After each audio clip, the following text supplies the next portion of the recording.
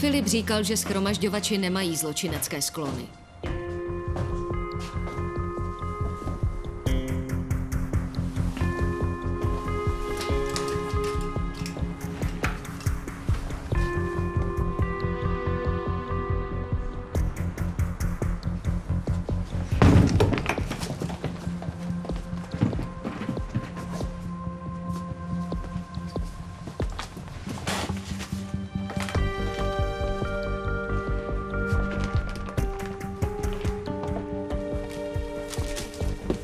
Vidět ven se zdviženýma rukama. Ano, nestřílejte! Paní Millerová,